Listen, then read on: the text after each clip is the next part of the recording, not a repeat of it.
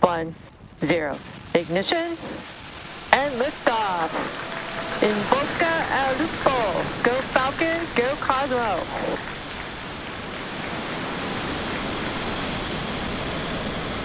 Vehicle is pitching downrange.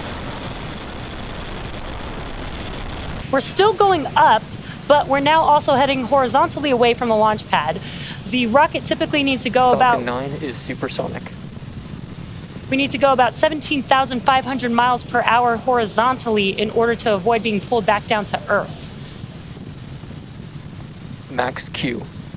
And there we heard the call out for max Q. We have now passed through the maximum aerodynamic pressure. This is the largest structural load on the vehicle.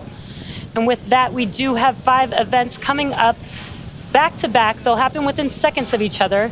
And these events include the first stage uh, making its way back to landing zone one today.